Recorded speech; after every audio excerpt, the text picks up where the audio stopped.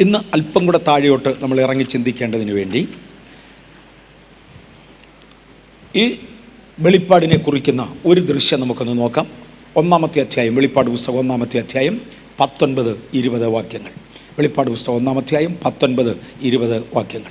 നീ കണ്ടതും ഇപ്പോൾ ഉള്ളതും ഇനി സംഭവിപ്പാനിരിക്കുന്നതും എന്റെ വലങ്കയിൽ കണ്ട ഏഴു നക്ഷത്രത്തിന്റെ മർമ്മവും ഏഴ് പൊൻ നിലവിളക്കിന്റെ വിവരവും എഴുതുക. മതി. നീ കണ്ടതും ഇപ്പോഴുള്ളതും ഇനി വരുവാനുള്ളതും. യോഹനനെ മറ നീക്കി തന്നെ നിന്നെ ചിലത് കാണിച്ചു.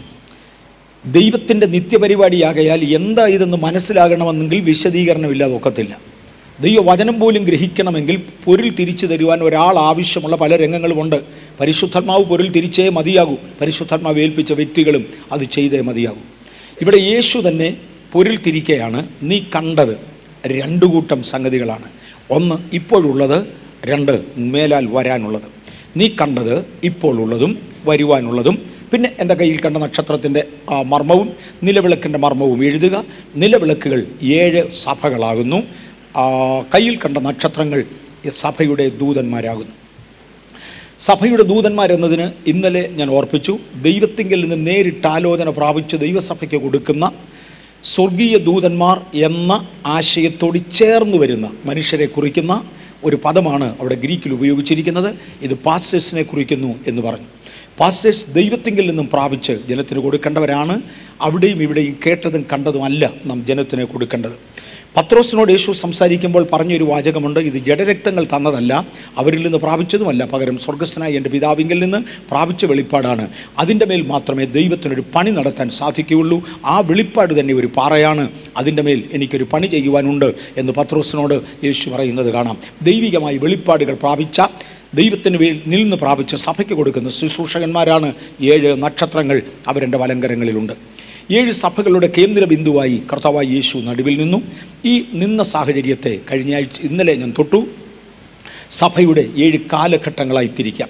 സഭ ഭൂമിയിൽ സ്ഥാപിതമായ നാൾ മുതൽ മധ്യാകാശത്തിലെ കാഹളധ്വനിയെങ്കിൽ ഇവിടെ നിന്നും സഭ സ്വർഗത്തിലേക്ക് കരയേറിപ്പോകുന്നത് വരെ മധ്യാകാശത്തിലേക്ക് കരയേറിപ്പോകുന്നത് വരെ ഈ ഭൂമിയിൽ ലഭിക്കുന്ന സഭാ കാലയളവിനെ ഏഴ് ഘട്ടങ്ങളായി തിരിച്ചുകൊണ്ട് അതിന്റെ വളർച്ച തളർച്ച താഴ്ച ഉയർച്ച വിശ്വാസത്യാഗം വിശ്വാസവർദ്ധനവ് എന്നിങ്ങനെയുള്ള ഓരോ ഘടകങ്ങളെ ആശ്രയിച്ച് ഏഴ് ഘട്ടങ്ങളായി അതിനെ തിരിച്ചുകൊണ്ട് ഏഴ് ഘട്ടങ്ങൾക്ക് എഴുതുന്ന ലേഖനങ്ങളാണ്. ഏഴ് ലേഖനങ്ങൾ. ഞാൻ ഒന്ന് ഓടിച്ച് പറഞ്ഞങ്ങ് പോകാം. പിന്നത്തേതിൽ നമ്മൾ ഓരോന്നോരോന്നായി വിശദീകരിക്കും. വെളിപ്പാട് പുസ്തകം രണ്ടാം അധ്യായത്തിന്റെ ഒന്ന് മുതൽ ഏഴ് വരെയുള്ള ലേ ആ വാക്യങ്ങൾ എഫ് എസ് ഒസ് എന്ന ഒന്നാം കാലഘട്ടത്തെ ചിത്രീകരിക്കുന്നു. വെളിപ്പാട് പുസ്തകം രണ്ടാം അധ്യായം എട്ട് മുതൽ പതിനൊന്ന് വരെയുള്ള വാക്യങ്ങൾ സ്മുർണ എന്ന രണ്ടാം കാലഘട്ടത്തെ കുറിക്കുന്നു. രണ്ടാം അധ്യായം പന്ത്രണ്ട് മുതൽ പതിനേഴ് വരെയുള്ള പെർഗമോസ് എന്ന കാലഘട്ടം മൂന്നാം കാലഘട്ടത്തെ കുറിക്കുന്നു. രണ്ടാം അധ്യായം പതിനെട്ട് മുതൽ ഇരുപത്തി ഒമ്പത് വരെയുള്ള തുയത്തൈര എന്ന കാലഘട്ടം നാലാമത്തെ കാലഘട്ടത്തെ കുറിക്കുന്നു. മൂന്നാം അധ്യായത്തിന്റെ ഒന്ന് മുതൽ ആറ് വരെയുള്ള വാക്യങ്ങൾ സർദീസ് എന്ന പേരിൽ അഞ്ചാം കാലഘട്ടത്തെ കുറിക്കുമ്പോൾ മൂന്ന് മൂന്നാം അധ്യായം ഏഴ് മുതൽ പതിമൂന്ന് വരെയുള്ള വാക്യങ്ങൾ ഫിലദൽഫിയ എന്ന പേരിൽ ആറാം കാലഘട്ടത്തെ കുറിക്കുന്നു. മൂന്നാം അധ്യായത്തിന്റെ പതിനാല് മുതൽ ഇരുപത്തിരണ്ട് വരെയുള്ള വാക്യങ്ങൾ ലെവോദിക്ക എന്ന പേരിൽ ഏഴാമത്തെ കാലഘട്ടത്തെ കുറിക്കുന്നു. ചുരുക്കി പറഞ്ഞാൽ രണ്ടാം അധ്യായം ഒന്ന് മുതൽ മൂന്നാം അധ്യായം ഇരുപത്തിരണ്ടാം വാക്യം വരെ കൊണ്ട് Ephesus Smyrna Pergamos Thyatira Sardis Philadelphia Laodicea എന്ന ഏഴ് സ്ഥലങ്ങളിലുള്ള സഭകളുടെ പേരിട്ട് ഈ കാലഘട്ടങ്ങളെ വിളിച്ചുകൊണ്ട് സഭയ്ക്ക് വേണ്ടിയുള്ള ലേഖനങ്ങൾ അറിയിക്കുന്നു. ഇതാണ് അതിന്റെ പ്രത്യേകത. എന്തുകൊണ്ടാണ് ഈ ഏഴ് പേരിട്ടത്? എനിക്ക് തോന്നുന്ന യോഹന്നാന് ഏറ്റവും പ്രിയപ്പെട്ട പേരുകൾ ഇതാണ്. യോഹന്നാന് മനസ്സിലാക്കാൻ ഒക്കുന്നതും അന്ന് ജീവനോടിരിക്കുന്ന ഭക്തന്മാർക്ക് ഏറ്റവും ഗ്രഹിക്കുവാൻ കഴിയുന്നതുമായ പേരുകൾ ഇതാണ് ഞാൻ ഈ വേദപുസ്തകത്തിന്റെ എഴുത്തിന്റെ ശൈലിയെക്കുറിച്ച് പലയിടത്തും പറഞ്ഞിട്ടുണ്ട്. നമ്മൾ ദൈവത്തിന്റെ വചനം പഠിക്കുകയാണ്. അല്പം ഗൗരവമായിട്ടും ആഴമായിട്ടുമായി നമ്മളിത് പഠിക്കുന്നത്. അതുകൊണ്ട് ഇതൊന്നുകൂടെ പറയുന്നതിൽ തെറ്റില്ല. നമ്മുടെ കർത്താവ് യേശു ക്രിസ്തുവിന്റെ പ്രവർത്തന പ്രസംഗ ശൈലികൾ എടുത്താൽ തന്നെപ്പോലെ അറിവും കഴിവും ഉള്ളവനില്ല. ഉളവായി വരട്ടെ എന്ന പിതാവായ ദൈവത്തിന്റെ ഒറ്റ വാക്കിനാൽ സകല പ്രപഞ്ചവും സൃഷ്ടിക്കപ്പെട്ടു. സൃഷ്ടികളുടെ യജമാനനാണ് പിതാവായ ദൈവം. എങ്ങനെ എന്തുകൊണ്ടാണ് സൃഷ്ടിച്ചത്? തന്റെ വാക്കുകൊണ്ട് തന്റെ വചനം കൊണ്ട്. ആ വചനം ജഡമായി ഉരുത്തിരിഞ്ഞതാണ് യേശു. സൃഷ്ടിയെക്കുറിച്ച് കടിപ്പിച്ചിരുന്ന കഴിഞ്ഞ ദിവസങ്ങളിൽ ഞാൻ എടുത്തു പറഞ്ഞത് ഓർമ്മയുണ്ട്. ശാസ്ത്രം അതിനെ ബിഗ് ബാങ് എന്ന് വിളിക്കും ദൈവവചനം അതിനെ വചനമെന്ന് വിളിക്കും. പക്ഷേ ക്രിസ്തുവാണ് ഇതിന്റെ എല്ലാത്തിന്റെയും മൂലകാരണം. യേശു ക്രിസ്തു ഒരു ശബ്ദമായിരുന്നു. ആദിയിൽ വചനമുണ്ടായിരുന്നു. വചനം ദൈവത്തോടുകൂടിയായിരുന്നു. വചനം ദൈവമായിരുന്നു. അതേ വചനം ഉരുത്തിരിഞ്ഞതാണ്. ജഡമായി വസിച്ചതാണ് ക്രിസ്തു. ക്രിസ്തുവിൽ സകല ദൈവിക സമ്പൂർണതയും ദേഹ ദേഹ ദേഹത്തിൽ വസിച്ചു. ദേഹരൂപത്തിൽ വസിച്ചു. ഈ സകല ദൈവിക സമ്പൂർണതയിലും അറിവിൽ തികഞ്ഞവനാണ് യേശു. കാര്യം സകല ചരാചരങ്ങളെയും നിയന്ത്രിക്കുന്നവനും കോടാനു കോടാനു കോടാനു കോടാനു കോടി നക്ഷത്രമണ്ഡലങ്ങളെ അതിന്റെ ക്രമത്തിൽ സൂക്ഷിക്കുന്നവനുമായ അറിവിൽ തികഞ്ഞവനാണ് യേശു. ഭൂമിയിൽ ഒരൊറ്റ മനുഷ്യനും അറിവിൽ തികഞ്ഞവരെന്ന് പറയാനില്ല. ഞാൻ ഇപ്പോഴും ഉപയോഗിക്കുന്ന ഉദാഹരണം എന്തെങ്കിലും അറിയാമായിരുന്നെങ്കിൽ നമ്മളൊക്കെ അത് ചെയ്തേനെ. ഒരു കൊതുകിനെയെങ്കിലും ഉണ്ടാക്കാൻ എനിക്കറിയാമായിരുന്നു. ഞാൻ ഒരെണ്ണത്തെ ചുമ്മാതയിൽ ഉണ്ടാക്കി നോക്കിയേനെ. എനിക്കറിയാൻ വയ്യ. ഒരു ആമീബ ഉണ്ടാക്കാൻ എനിക്കറിയാം. ഈ അറിയാവുന്ന ആരെയും ഞാൻ കണ്ടിട്ടുമില്ല. അറിവുണ്ടെന്നൊക്കെ പറഞ്ഞാലും അതിനെല്ലാം ഒരു പരിധിയുണ്ട്. പക്ഷേ യേശു സകലത്തെക്കുറിച്ചും അറിവുള്ളവനാണ്. തന്റെ പ്രസംഗങ്ങളിൽ താൻ ഉപയോഗിക്കുന്ന ഉദാഹരണങ്ങളിൽ കോസ്മിക് സൗണ്ടിനെ കുറിച്ച് താൻ പറഞ്ഞിട്ടില്ല. അന്തരീക്ഷത്തിലെ പ്രതിഭാസങ്ങളെക്കുറിച്ച് താൻ കാര്യമായി തൊട്ടിട്ടില്ല. ആകാശം ചുമന്ന് കണ്ടാൽ ഇങ്ങനെ ഇരിക്കും അല്ലെങ്കിൽ ഇങ്ങനെ ഇരിക്കും എന്നൊക്കെ പറഞ്ഞതല്ലാതെ ഒന്നിനെക്കുറിച്ചും ഗൗരവമായി ആ സൃഷ്ടിയെക്കുറിച്ച് പറയുന്നില്ല. പകരം യേശുവിന്റെ ഉദാഹരണങ്ങൾ വയലിലെ താമര വയലിലെ കു വരമ്പയിലിരിക്കുന്ന ചക്ക് കൊക്ക് കുരുവി കാക്ക ഇതൊക്കെയാണ് യേശുവിന്റെ ഉദാഹരണം. എന്തുകൊണ്ട്? വെറും സാധാരണക്കാരനും ഏറ്റവും ലളിതമായി മനസ്സിലാകത്തക്കതുപോലെ ലളിത ഭാഷ യേശു ഉപയോഗിച്ചിരുന്നു. തന്റെ ഭാഷയിൽ ഗൗരവമേറിയതൊന്നും നമുക്ക് മനസ്സിലാക്കാൻ കഴിയാത്തതൊന്നുമില്ല. എന്ന് പറഞ്ഞ കേൾവിക്കാരന് കാഴ്ചക്കാരന് അറ്റൻഡ് ചെയ്യുന്നവന് മനസ്സിലാകണം എന്ന ചിന്തയിൽ ഏറ്റവും ലളിത ഭാഷയിലേക്ക് യേശു ഇറങ്ങി വന്നു. കടിച്ചാൽ പൊട്ടാത്ത ഭാഷയിൽ മനുഷ്യന് മനസ്സിലാകാത്ത ഭാഷയിൽ വായിക്കുന്നവർക്ക് ഗ്രഹിക്കാനൊക്കാത്ത ഭാഷയിൽ ഒക്കെ മതഗ്രന്ഥങ്ങൾ സൃഷ്ടിക്കപ്പെട്ടവരുണ്ട്. നമുക്കത് അറിയാവുന്നതാണ്. പക്ഷേ യേശുവിന്റെ മതഗ്രന്ഥ നിർമ്മാണം ഇങ്ങനെയൊന്നുമല്ല സാധാരണക്കാരന് മനസ്സിലാകാൻ വേണ്ടിയാണ് ഏറ്റവും ലളിതമായ ഉദാഹരണം. ഇതേ കാരണം ഇതുപോലെ തന്നെ ഇതേ ശൈലിയിൽ ബൈബിളിന്റെ എഴുത്തും ആരിത് അന്ന് കാണുന്നോ കേൾക്കുന്നോ അവന് മനസ്സിലാകത്തക്ക ശൈലിയിലാണ് അവർക്ക് മനസ്സിലാകത്തക്ക ശൈലിയിൽ എഴുതിയിരിക്കുന്നത് കൊണ്ട് ദൈവത്തിനറിയാവുന്നതും മനുഷ്യനറിയാവുന്നതും കേട്ടാൽ ഉടനെ മനസ്സിലൊരു രൂപം കിട്ടത്തക്കതുമായ ഉപമകൾ ഉദാഹരണങ്ങളാണ് യേശു ഉപയോഗിച്ചത് തിരുവചനത്തിൽ ഉപയോഗിക്കുന്നത്. യോഹന്നാന് ഏറ്റവും പ്രിയങ്കരവും ഏഷ്യ മൈനറുള്ളവർക്ക് ഉടൻ മനസ്സിലാകുന്നതുമായ ഏഴ് പേരുകൾ ഉദ്ധരിച്ചു. ആ ഏഴ് പേരുകളും അവർക്ക് നന്നായി മനസ്സിലാകും. അതുകൊണ്ടാണ് ഈ ഏഴ് പേരുകൾ ഉച്ചരിച്ചിരിക്കുന്നത്. ഈ ഏഴ് ലേഖനങ്ങളായി ഇതിനെ തിരിച്ചു. ഈ ഏഴ് ലേഖനങ്ങളിൽ ഞാൻ ഒരു കാര്യം കൂടെ ഓർമ്മിപ്പിക്കട്ടെ. ഈ ഏഴ് ലേഖനങ്ങളുടെ ഒരു പ്രത്യേകത കൂടെ ഞാൻ ഒന്ന് തൊടാൻ പോവുകയാണ്. ക്രമാനുഗതമായ നഷ്ടങ്ങൾ ഈ സഭയ്ക്ക് ഉണ്ടായി. ഏഴ് സഭകൾക്ക് അല്ലെങ്കിൽ ഏഴ് കാലഘട്ടങ്ങളിലായി നിലവിൽ വന്ന ഈ സഭയ്ക്ക് ക്രമാനുഗതമായ പല നഷ്ടങ്ങളും ഉണ്ടായി. ആ നഷ്ടങ്ങൾ എന്താണ്? നമ്മൾ ഗൗരവമായിട്ട് ചിന്തിക്കും. ഓരോ ലേഖനം ഇതിങ്ങനെ എഴുതി ചിന്തിച്ചു വരും. ഒന്നാമത്തേത് ഒന്നാം സഭാ കാലയളവിൽ ആദ്യത്തെ സ്നേഹം നഷ്ടമായി ആദ്യ സ്നേഹം വിട്ടുകളഞ്ഞു എന്നൊരു കുറ്റം സഭയെക്കുറിച്ച് പറഞ്ഞു. സഭയുടെ രണ്ടാം കാലഘട്ടത്തിൽ സാത്താന്റെ പള്ളിക്കാർ ദൈവസഭയുടെ അകത്തേക്ക് കയറി തുടങ്ങി. മൂന്നാം കാലഘട്ടത്തിൽ സാത്താൻ സഭയ്ക്കകത്ത് പാർത്തു. നമ്മളിത് വിശദമായി എഴു പഠിക്കും. വിശദമായി പഠിക്കും. സാത്താൻ സഭയ്ക്കകത്ത് പാർത്തു. മാത്രമല്ല അവന്റെ സിംഹാസനം സഭയ്ക്കകത്ത് വെച്ചു. രണ്ടാം അധ്യായം പതിമൂന്നാം വാക്യത്തിൽ ഇത് കിടപ്പുണ്ട്. നമ്മളവിടെ വരും. എന്തുകൊണ്ടാണ് മൂന്നാം കാലഘട്ടത്തിൽ സഭയ്ക്കകത്ത് സാത്താൻ കയറിയതും സാത്താന്റെ പള്ളിക്കാർ നേരത്തെ കയറി. സാത്താൻ കയറിയതും അവന്റെ സിംഹാസനം സ്ഥാപിച്ചതും. അവിടെ ബിലയാമിന്റെ ഉപദേശം പിടിക്കുന്നവരും നിക്കലൊക്കരുടെ ഉപദേശം പിടിക്കുന്നവരും ഉണ്ടായിരുന്നു. ഈ രണ്ട് കൂട്ടർ അതിനകത്ത് കയറിയതോടുകൂടെ അവരുടെ ഉപദേശങ്ങൾ അതിനകത്ത് കയറിയതോടുകൂടെ സാത്താന് അതിനകത്ത് സ്ഥാനമായി. രണ്ടാം അധ്യായത്തിന്റെ പതിമൂന്ന് പതിനാല് പതിനാല് പതിനഞ്ച് വാക്യങ്ങളിൽ അത് കാണാം.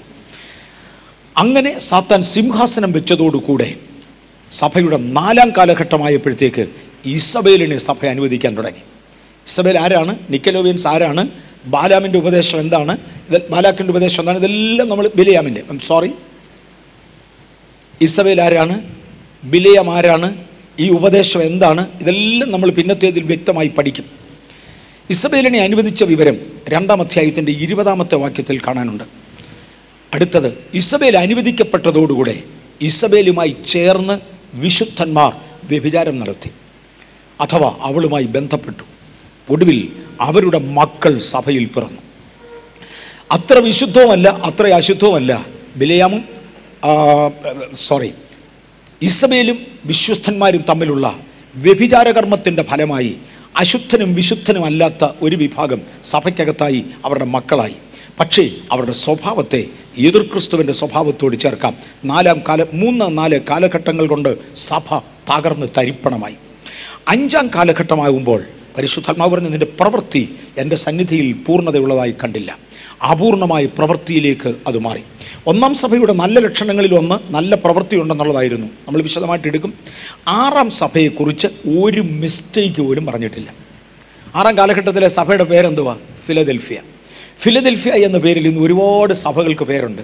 ആരെങ്കിലും ലവലിദിക്ക സഭ എന്ന് ഏതെങ്കിലും സഭയ്ക്ക് പേരിട്ട് കേട്ടിട്ടുണ്ടോ? ഇല്ല. എഫ് എസ് ഒ സഭ എന്ന് വേറെ ആരെങ്കിലും വിളിച്ച് കേട്ടിട്ടുണ്ടോ? ഒരിക്കലുമില്ല.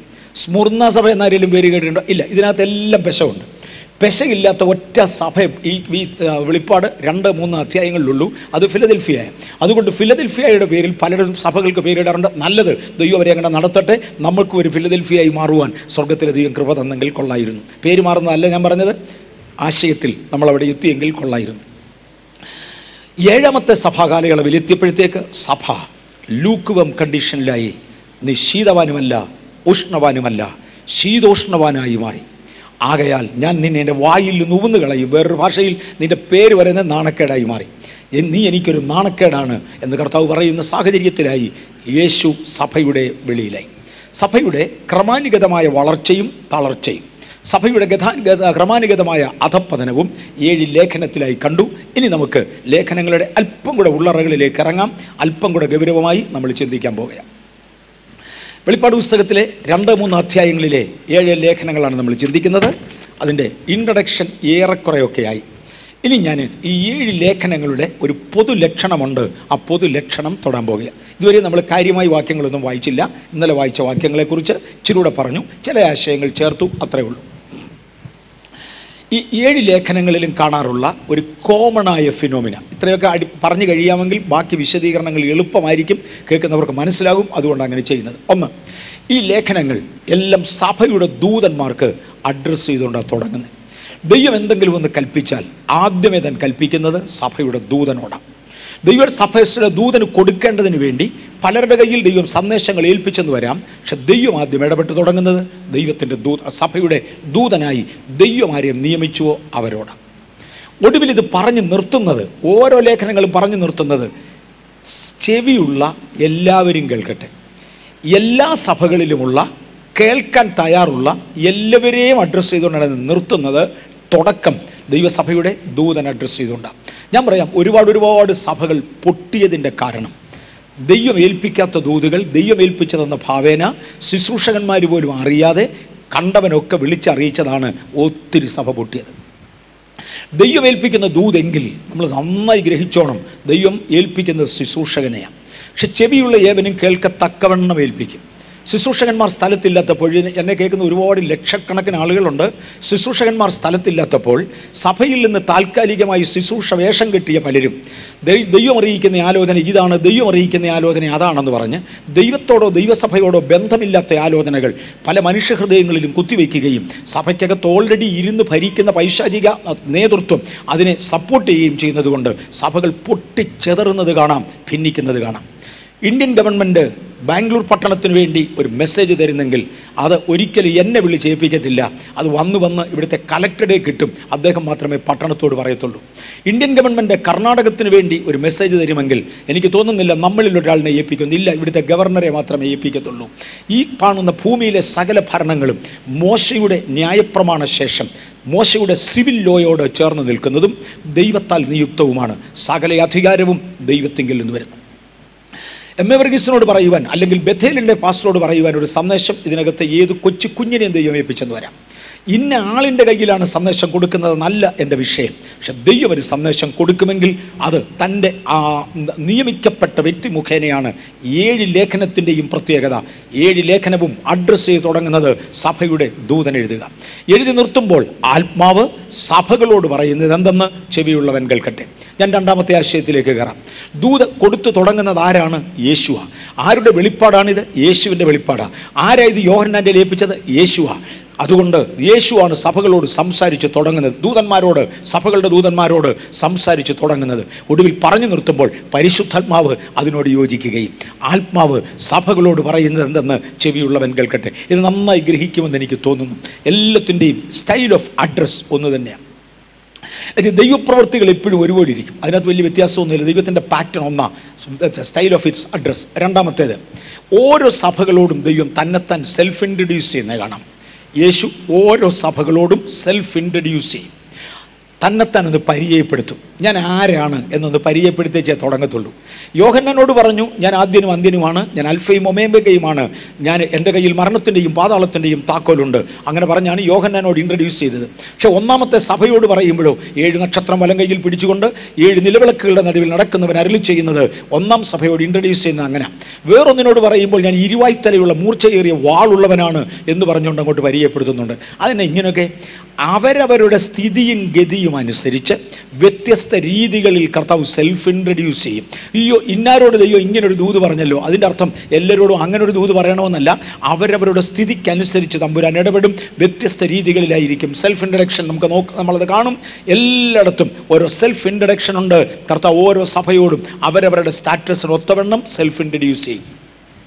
എന്റെ കുഞ്ഞുങ്ങൾ എന്തെങ്കിലും അക്രമം കാണിച്ചേച്ച് കുശൃതി കാണിച്ചേച്ച് തന്റെ അപ്പച്ചൻ വരുന്നടാ അല്ലെ ഡാഡി വരുന്നടാ എന്ന് പറയുമ്പോൾ ഞാൻ പറയും വടിയുമായിട്ട് ഞാൻ വരുന്നുണ്ടെന്ന് പറയും. പൗലൂസം പറയുന്നുണ്ട് ഞാൻ വടിയുമായിട്ട് വരുന്നുണ്ട് എന്ന് പക്ഷെങ്കിൽ എന്നെ കാണാതെ കുറച്ച് ദിവസം ഇരുന്ന ശേഷം അപ്പച്ചൻ എപ്പോഴാണ് വരുന്നതെന്ന് ചോദിക്കുമ്പോൾ വടി വാങ്ങിച്ചിട്ടുണ്ടടാ നല്ല വരുന്നേ മുട്ടായി വാങ്ങിച്ചിട്ടുണ്ടടാ മുട്ടായിയും കൊണ്ട് വരുന്നെന്ന. കാര്യം അന്നന്നത്തെ സാഹചര്യത്തിൽ അതേ വ്യക്തി വേറൊരാളോട് സെൽഫ് ഇൻട്രൊഡ്യൂസ് ചെയ്യുമ്പോൾ അന്നന്നത്തെ നിലവാരത്തിൽ സെൽഫ് ഇൻട്രൊഡ്യൂസ് ചെയ്യും. ഇന്ന് പകൽ കർത്താവ് എന്നോടൊന്ന് സെൽഫ് ഇൻട്രൊഡ്യൂസ് ചെയ്താൽ എന്റെ നിലപാട് എന്തായിരിക്കും? ഒന്ന് ചിന്തിക്കുന്നത് കൊള്ളാം. ഓരോ വ്യക്തിയോടും സെൽഫ് ഇൻട്രൊഡ്യൂസ് ചെയ്യും. എന്റെ ആവശ്യവുമായി അല്ലെങ്കിൽ എന്നെ ശിക്ഷിക്കേണ്ടതിനായി അല്ലെങ്കിൽ എന്നെ കറക്റ്റ് ചെയ്യേണ്ടതിനായി എങ്ങനെയായിരിക്കും എന്നെ സെൽഫ് ഇൻട്രഡ്യൂസ് ചെയ്യുന്നത്?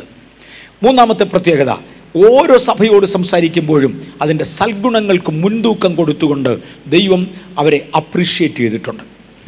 രണ്ടാം അധ്യായത്തിന്റെ രണ്ട് മൂന്നാം വാക്യങ്ങൾ. ഓക്കെ നല്ലതാണ് പക്ഷെങ്കിൽ മൂന്നാം അധ്യായത്തിന്റെ രണ്ടാം വാക്യത്തിലേക്ക് വരുമ്പോൾ അതിന്റെ പ്രവൃത്തികൾ മോശമാണെന്നും പറയുന്നത് കാണാം. നിൽക്കട്ടെ. ഓരോ ഇടത്തും സെൽഫ് ഇൻട്രൊഡ്യൂസ് ചെയ്യുന്നത് കാണാം. ഓരോ ഇടത്തും അവരെ അപ്രീഷിയേറ്റ് ചെയ്യുന്നത് കാണാം. സൽപ്രവൃത്തികൾക്ക് മുൻതൂക്കം കൊടുത്തുകൊണ്ട് ഒന്നാമത് എടുത്തു പറയുന്ന അതാ ഓരോ സഭയുടെയും നന്മ അവരോട് എടുത്തു പറയും അതിന് മുൻതൂക്കം കൊടുക്കും. ഞാനാണെങ്കിൽ ഒരു വ്യക്തിയുടെ തിന്മയായിരിക്കും ആദ്യം പറയുന്നത്. മനുഷ്യന്റെ പൊതു സ്വഭാവം അതാ. ഞാൻ എന്റെ ആക്കി പറഞ്ഞതേ ഉള്ളൂ മനുഷ്യന്റെ പൊതു സ്വഭാവം അതാ. പക്ഷെ ദൈവമാണെങ്കിൽ അങ്ങനെയല്ല നന്മയ്ക്കാണ് മുൻതൂക്കം കൊടുക്കുന്നത്. നന്മയ്ക്ക് പ്രസക്തി കൊടുത്തുകൊണ്ട് സംസാരിക്കും. ഒന്നാം സഭയുടെ ചരിത്രത്തിലേക്ക് വരുമ്പോൾ അതിന്റെ നന്മകൾ ഇങ്ങോട്ട് എടുത്തു നിന്റെ പ്രവൃത്തി പ്രയത്നം ഇതെല്ലാം ഞാൻ അറിയുന്നുണ്ട്. കുറച്ചങ്ങോട്ട് കഴിഞ്ഞേച്ച് പറഞ്ഞു പക്ഷേ ആദ്യ സ്നേഹം വിട്ടു എന്നൊരു കുറ്റം നിന്നെക്കുറിച്ച് പറയാനുണ്ട്. ആദ്യമേ ആദ്യ സ്നേഹം വിട്ടു എന്നല്ല പറയുന്നത് ആദ്യം പറഞ്ഞു തുടങ്ങുന്നത് നന്മയാണ് നമ്മളും അതൊരു സ്വഭാവമാക്കിയാൽ നല്ലതാ. അതേ ദൈവത്തിന്റെ സ്വഭാവമല്ലേ നമ്മിൽ കാണേണ്ടത്? ക്രിസ്തുവിന്റെ മാതൃക നമ്മളിലുണ്ടെങ്കിൽ നല്ലതാ. പക്ഷേ അവരുടെ വീക്ക്നെസ്സോ അവരുടെ പ്രശ്നമോ പാപമോ പറയാതെ വിട്ടിട്ടില്ല. ഇതിന്റെ ഒരു പ്രത്യേകതയിൽ മൂന്നാമത്തെ ലക്ഷണമായി നന്മ സ്വഭാവത്തിന് പ്രത്യേകത കൊടുത്തുകൊണ്ട് യേശു സംസാരിച്ചെങ്കിലും നാലാമത്തെ പ്രത്യേകത കുറ്റങ്ങൾ ഓരോന്നും എടുത്തു പറഞ്ഞിട്ടുണ്ട്. ശിക്ഷ കുറച്ചിട്ടുമില്ല. നല്ലതൊക്കെ ഉണ്ടെങ്കിലും കുറ്റം കുറ്റം തന്നെയാണ്. അത് ശിക്ഷിക്കാതെ വിടുകയില്ല. നന്മയും തിന്മയും പറഞ്ഞു. നിന്റെ നിന്റെ ആദ്യ സ്നേഹം വിട്ടുകളഞ്ഞെന്ന് കുറ്റം എടുത്ത് പറഞ്ഞല്ലോ. അഞ്ചാമത്തെ പ്രത്യേകത ഓരോ സഭയ്ക്കും കറക്ഷനുണ്ട് കറക്റ്റ് ചെയ്യാൻ താല്പര്യപ്പെടുന്നവർക്ക് മാനസാന്തരപ്പെടുവാൻ താല്പര്യപ്പെടുന്നവർക്ക് അവസരം കൊടുത്തുകൊണ്ടായിരിക്കും ദൈവിക ഇടപെടൽ. ഓരോ സഭയ്ക്കും കറക്ഷൻ കൊടുക്കുന്നുണ്ട്. ഓരോ സഭയ്ക്കും വാണിങ്ങുകൾ കൊടുക്കുന്നുണ്ട്. എന്നിട്ട് പറഞ്ഞു ജയിച്ചാൽ ഇന്ന പ്രതിഫലം തരും. ആറാമത്തെ പ്രത്യേകത ജയിക്കുന്നവന്റെ പ്രതിഫലത്തെക്കുറിച്ച് നേരത്തെ അവനോട് പറയും.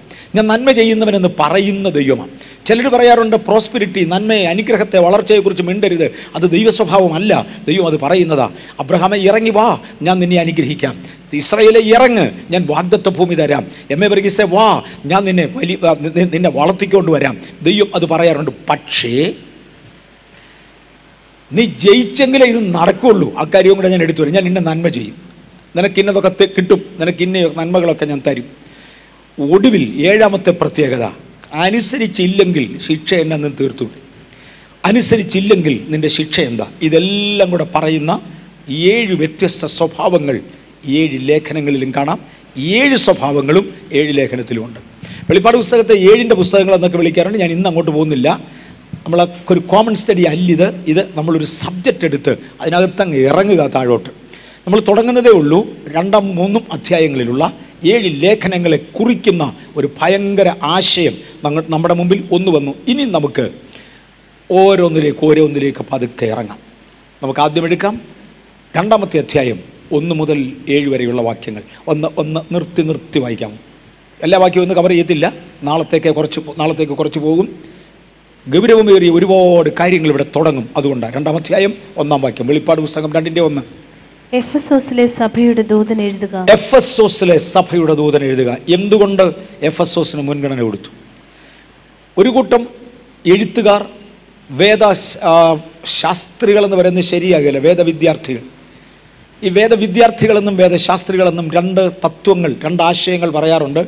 വേദശാസ്ത്രി എന്ന് വരെ ഒരു കൂട്ടർ ഇതുവരെ ഉണ്ടായിട്ടില്ല. ഈയിടെ ഉണ്ടാകത്തുമില്ല. കാര്യം വേദപുസ്തകം ഒരുത്തിന് പഠിച്ചു തീർക്കാൻ ഒക്കുന്നതല്ല വേദ പണ്ഡിതന്മാരില്ല. വേദപുസ്തകം ഒരു മനുഷ്യന്റെയും മനസ്സിൽ ഒതുങ്ങുന്നതിനപ്പുറമാണ് പകരം വേദ വിദ്യാർത്ഥികൾ ഒരുപാട് പേരുണ്ട് നമ്മളൊക്കെ ആ കൂട്ടത്തിൽ പെടുന്നവരാണ് പണ്ടൊരിക്കൽ ഒരാൾ പറഞ്ഞായിരുന്നു ആളിന്റെ ആളുകൾ എന്നെ ശ്രദ്ധിക്കുന്നുണ്ടെന്ന് എനിക്കറിയാം ഞാൻ ആ കാര്യം തന്നെയാണ് പറയുന്നത് ഒരിക്കൽ ഒരാൾ എന്നോട് പറഞ്ഞായിരുന്നു ഞാൻ ഈ ഉണർവെന്ന് പറയുന്നതിന്റെ ഒന്നും പുറകെ പോകത്തില്ല. ഞങ്ങളാരും ഇങ്ങനെ ഉണർവുകാരുടെ പുറകെ നടക്കുന്നവരല്ല. എനിക്ക് വേദപുസ്തകം തറവായി അറിയാം വേദപുസ്തകം അറിയാവുന്നൊരു വേദ വടിയിക്കോൾ വേദജ്ഞാനിയാണ് ഞാൻ. അദ്ദേഹത്തിന്റെ പദമായിരുന്നു വേദജ്ഞാനികൾ ആരും തന്നെ ഉണർവെന്ന് പറയുന്നതിന്റെ ഒന്നും പുറകെ പോകത്തില്ല. അന്ന് ഞാൻ പരസ്യമായി ഒരു കൺവെൻഷൻ വെച്ച് ഞാൻ പ്രസംഗിക്കേണ്ട കൺവെൻഷനിൽ എന്നെ ഇൻട്രൊഡ്യൂസ് ചെയ്യാൻ കയറിയ പാർട്ടിയാണ് ഞാൻ അതുകൊണ്ട് അതിനൊരു മറുപടി പരസ്യമായി പറയേണ്ടതായി വന്നു. ഈ വിശ്വസിക്കുന്നവർ മരിച്ചവരെ ഉയർപ്പിക്കുമെന്നൊക്കെ യേശു പറയുന്നുണ്ട്.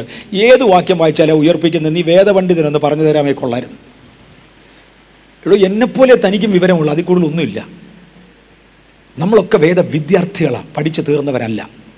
വേദപുസ്തകം ശരിക്കറിയാമായിരുന്നെങ്കിൽ നമുക്ക് പലതും ചെയ്യാമായിരുന്നു. നമുക്ക് അവിടം വരെ അറിയത്തില്ല. ഞാൻ അന്ന് ഉപയോഗിച്ചൊരു ഭാഷ കൂടെ പറയാം. ചൊറിക്ക് പോലും പ്രാർത്ഥിക്കാൻ കഴകമില്ലാത്തവൻ. വേദപുസ്തകം അറിയാമെന്ന് പറഞ്ഞാൽ അംഗീകരിക്കാൻ വല്ല പൊട്ടനെയും കൂലിക്ക് വിളിക്കണം. വേറെ ആരും അംഗീകരിക്കില്ല. ദൈവത്തിന്റെ വചനം പഠിച്ചു തീർത്തവരാരുമില്ല വേദ വിദ്യാർത്ഥികളാണ് ഞാനും നിങ്ങളും. ഈ വേദ വിദ്യാർത്ഥികളായ നമുക്ക് ഇതിനകത്തെ ചില നന്മകൾ കാണാം. ഓൾറൈറ്റ് എന്തുകൊണ്ട് എഫ് എസ് ഒ സഭയ്ക്ക് ഇത് അഡ്രസ്സ് ചെയ്തു? യോഹന്നാന്റെ മനസ്സിൽ തിങ്ങി നിൽക്കുന്ന ഏറ്റവും പ്രധാനപ്പെട്ട പേര് എഫ് എസ് ഒസ കാരണം കഴിഞ്ഞ ദിവസങ്ങളിൽ അദ്ദേഹം അവിടെയായിരുന്നു. അവിടെ വെച്ച് തന്നെ അറസ്റ്റ് ചെയ്തത്. അവിടുത്തെ വിശുദ്ധന്മാരായിരിക്കും തന്റെ ചുറ്റും കരഞ്ഞുകൊണ്ട് നിന്നത്. അവരുടെ നിലവിളിക്കുന്ന മുഖം അദ്ദേഹത്തിന്റെ മുഖന്നിൽ നിന്ന് മാറത്തില്ല. യോഹന്നാന് തന്റെ വയോധികനായ സാഹചര്യത്തിൽ എ തൊണ്ണൂറ്റിയാറിലെ ചരിത്രമായത് തനങ്ങ് വയോധികനായ സാഹചര്യത്തിൽ വയോധികനായ സാഹചര്യത്തിൽ തനിക്ക് ആവശ്യമുള്ള ശുശ്രൂഷകൾ ചെയ്തിരുന്ന എഫ് എസ് ഒസിലെ വിശുദ്ധന്മാരുടെ മുഖം തനിക്ക് മറക്കാനൊക്കത്തില്ല തമ്പുരാൻ പറഞ്ഞ തുടക്കത്തിൽ ഞാൻ അതേ പേര് പറഞ്ഞേക്കാം. എഫ് എസ് ഒസിലെ സഭയുടെ ദൂതനെഴുത് ഒരർത്ഥത്തിൽ അത് യോഹന്നാൻ തന്നെയല്ലേ? ഈ ഏഴ് സഭയുടെ ദൂതന യോഹന്നാൻ തന്നെയാണ് ഒരർത്ഥത്തിൽ. തനിക്ക് അസിസ്റ്റൻസ് ഉണ്ടായിരിക്കും ഏഴ് സഭകളിലും പക്ഷേ സീനിയർ ബിഷപ്പ് താൻ തന്നെയാണ് ഏഷ്യ മൈനറിന്റെ എഫ് എസ് എസിലെ സഭയുടെ ദൂതൻ എഴുത് യോഹന്നാനെ നിനക്കിത് നമ്പർ വൺ ബാധകമാണ്. എന്നോട് ദൈവം ഇടപെട്ടാൽ എനിക്ക് അത് നമ്പർ വൺ ബാധകമാണ്. ഞാനൊരു വ്യക്തിക്ക് നേരെ വിരൽ ചൂണ്ടി ഒരു ദൈവിക ദൂത് പറയുന്നെങ്കിൽ മറക്കരുത് നമ്മൾ സാധാരണ ഉപയോഗിക്കുന്നതാണ്. ഒരു വിരൽ ഞാൻ ഒരു വ്യക്തിക്ക് നേരെ ഊന്നുമ്പോൾ മൂന്ന് വിരൽ എന്റെ നേരെ നിൽക്കുക കാര്യം ഞാൻ വ്യക്തിയോട് പറഞ്ഞ ദൂത് എനിക്ക് ബാധകമാണ് നന്മ പോലും തിന്മ പോലും. ദൈവം ഏൽപ്പിക്കുന്ന ദൂത്. വേറൊരാളിനോട് വിളിച്ചു പറയുമ്പോൾ എനിക്കത് ബാധകമാണ് എന്നോർത്ത് സംസാരിക്കുന്നവർക്കായി സ്തോത്രം. പഴയ നിയമത്തിൽ നമുക്ക് രണ്ട് പ്രധാന പ്രവാചകന്മാരെ കാണാം. ഒത്തിരി പ്രധാന പ്രവാചകന്മാരുണ്ട്. രണ്ടുപേരെ പ്രധാനമായും കാണാം. ഒരാൾ യശയ്യ പ്രവാചകന്. തന്റെ ജീവിതത്തിൽ മുഴുവനും അനുഗ്രഹവും നന്മയുമാണ് ജീവിതത്തിൽ അധികവും തന്റെ പുസ്തകങ്ങളിൽ എഴുത്തുകളിൽ തന്റെ വേദപുസ്തക അധ്യായങ്ങളിൽ അനുഗ്രഹവും നന്മയുമാണ് അധികം എഴുതിയത്. അദ്ദേഹത്തെ പുതിയ നിയമത്തിന്റെ എഴുത്തുകാർ പഴയ പുതിയ നിയമത്തിന്റെ എഴുത്തുകാർ വിളിക്കുന്നത് പഴയ നിയമത്തിന്റെ സുവിശേഷകൻ എന്നാണ് ഞാൻ ഒന്നുകൂടെ ആവർത്തിക്കാം. യോഹന്നന്റെ യശയ്യാവിന്റെ പ്രവചനത്തിൽ ഏറ്റവും അധികം പ്രവചനങ്ങൾ അനുഗ്രഹങ്ങൾ നന്മ വിടുതൽ ഉയർച്ച ഉന്നതി മുതലായതാണ് അത് പ്രസംഗിച്ച അത് പ്രവചിച്ച പ്രവാചകനെ പഴയ നിയമത്തിന്റെ സുവിശേഷകൻ എന്ന് വിളിച്ചു. പല കാരണങ്ങളുണ്ട് അങ്ങനെ വിളിക്കാൻ. അതിൽ ഒരു കാരണം യേശുവിന്റെ കന്യകാജനനത്തെക്കുറിച്ച് അദ്ദേഹം പ്രസംഗിച്ചു. അല്ലെങ്കിൽ അദ്ദേഹം ദൂത് പറഞ്ഞു. യേശുവിന്റെ കന്യകാജനനം മുതൽ യേശുവിന്റെ കഷ്ടാനുഭവങ്ങളെക്കുറിച്ച് അദ്ദേഹം വിളിച്ചു പറഞ്ഞു. യേശുവിന്റെ മരണത്തെക്കുറിച്ച് വിളിച്ചു പറഞ്ഞു. അവൻ തന്റെ മരണത്തിൽ സമ്പന്നന്മാരോടുകൂടെ ആയിരുന്നു ദൈവം തനിക്കൊരു സന്തതിയെ നൽകുന്ന പുതിയ നിയമസഭയെക്കുറിച്ച് വരെ അദ്ദേഹം വിളിച്ചു പറഞ്ഞു. സത്യമാ പക്ഷേ അദ്ദേഹത്തിന്റെ പ്രവചനത്തിന്റെ അധിക ഭാഗങ്ങളും അനുഗ്രഹങ്ങളും നന്മകളും പറഞ്ഞു. ഇതുകൊണ്ട് അദ്ദേഹത്തെ പഴയ നിയമത്തിന്റെ സുവിശേഷകൻ എന്ന് വിളിക്കും.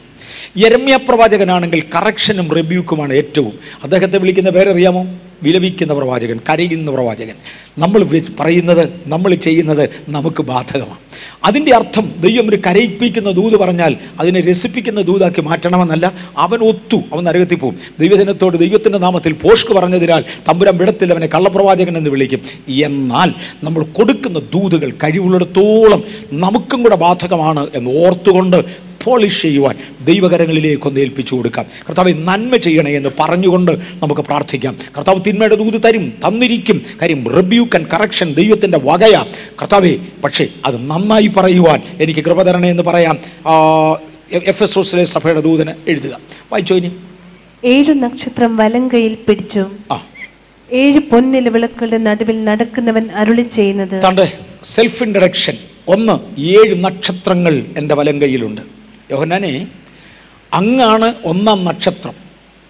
അതിന്റെ അർത്ഥം അങ്ങയുടെ കാലശേഷം വരുന്ന ആരും എന്റെ അല്ലെന്ന് തെറ്റിദ്ധരിക്കരുത്. ഞാൻ യേശുവിന്റെ മാറുവോട് ചാരിയിരുന്നവനാകയാൽ പുനരുത്ഥാന ശേഷം കല്ലറയ്ക്കകത്ത് കയറി കണ്ടവനാണെന്നുള്ളത് കൊണ്ട് അങ്ങ് മാത്രമേ എന്റെ കയ്യിലുള്ളൂ എന്ന് തെറ്റിദ്ധരിക്കരുത്. അല്ല വരുന്ന ഒരാറെണ്ണം കൂടെ. ഒന്നാം സഭയോട് അടുത്തിരിക്കുന്ന അതേ അടുപ്പത്തിൽ ഞാൻ ഏഴാം സഭയോടുകൂടെ ഉണ്ട്.